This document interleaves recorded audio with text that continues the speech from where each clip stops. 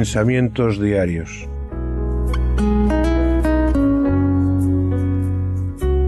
Sencillas pero profundas reflexiones para cada día de nuestras vidas.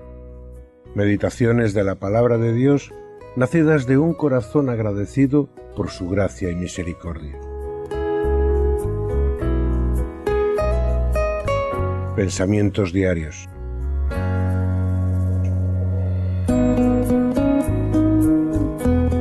Un devocional de lectura personal obsequiado por Radio Luz a las Naciones, canal cristiano de comunicación, con el único deseo de compartir con todos vosotros la esperanza en Cristo que hay en nuestros corazones.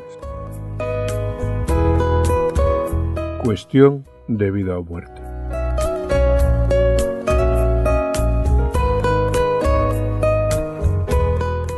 Hablando con algunas personas que confiesan ser creyentes, he podido observar cómo en sus vidas acomodan a su antojo una especie de mezcolanza en la que encuentran lugar cosas que ciertamente son verdades bíblicas y otras que son mentiras propagadas por el Padre de toda mentira desde el principio de los tiempos, y otras que son fruto de la ignorancia y el desconocimiento de la palabra de Dios y de las propias palabras de Jesús.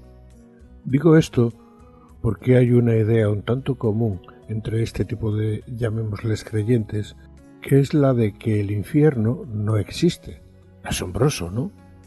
Pero tal afirmación queda totalmente dentro de lo que pudiéramos considerar como herejía, pues directamente coloca a Cristo como falso y mentiroso.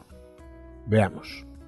En el Evangelio de Mateo capítulo 5 verso 22 dice, y cualquiera que le diga fatu quedará expuesto al infierno de fuego. En el Evangelio de Mateo capítulo 13 versos 41 y 42 dice, enviará el Hijo del Hombre a sus ángeles y recogerán de su reino a los que sirven de tropiezo y a los que hacen iniquidad y los echarán en el horno de fuego, y allí será el lloro y el crujir de dientes. En Mateo, capítulo 25, versos 41 y 46, leemos, Entonces dirá también a los de la izquierda, Apartaos de mí, malditos, al fuego eterno preparado para el diablo y sus ángeles, e irán estos al castigo eterno y los justos a la vida eterna. Son solo unos pocos ejemplos, pero Jesús habló mucho más del infierno que del cielo. Cualquiera puede leer estas palabras, y cualquiera que las lea puede creerlas o no, pero no podemos decidir agarrar un rotulador y comenzar a tachar de la palabra de Dios todo aquello que moleste a nuestras conciencias. Seamos serios con esto. Es cuestión de vida o muerte eterna. Pero esta actitud de decidir con qué me quedo y qué rechazo de la palabra de Dios es algo que no está tan solo en estas personas. De alguna manera, en todos nosotros está ese espíritu de cuestionar las cosas y de, dependiendo de qué cosa y qué momento, ahora tomamos esto y luego rechazamos aquello. Y así jugueteamos ahora con la mentira, ahora con el rencor y luego con esto y mañana con aquello. O simplemente decidimos, porque sí, que a nosotros se nos pasan por alto cosas que a otros arrastrarían a la condenación. Y solo el recibir a Cristo como Señor y Salvador de nuestras vidas puede obrar ese milagro. Pues si Cristo es nuestro Salvador, de qué vino a salvarnos. Jesús hablaba del infierno y lo describía claramente como un lugar. No es un concepto, es un lugar y un lugar horrible. Un lugar donde tus miedos y tu soledad, tu tristeza y tu dolor alcanzarán cotas de angustias inimaginables. No permitas que tal cosa te suceda.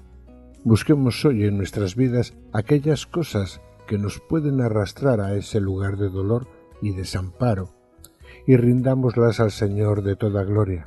Arrepintámonos de toda rebeldía que habita aún en nosotros y pidamos perdón por ellas. El libro del profeta Jeremías en el capítulo 29 versos 11 y 13 nos dice, Porque yo sé los pensamientos que tengo acerca de vosotros, dice el Señor, pensamientos de paz y no de mal, para daros el fin que esperáis.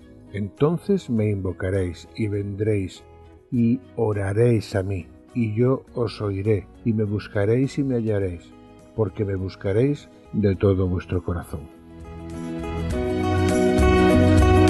Pensamientos diarios, meditando en la palabra de Dios. Santificad a Dios el Señor en vuestros corazones, y estad siempre preparados para presentar defensa con mansedumbre y reverencia ante todo el que demande razón de la esperanza que hay en vosotros.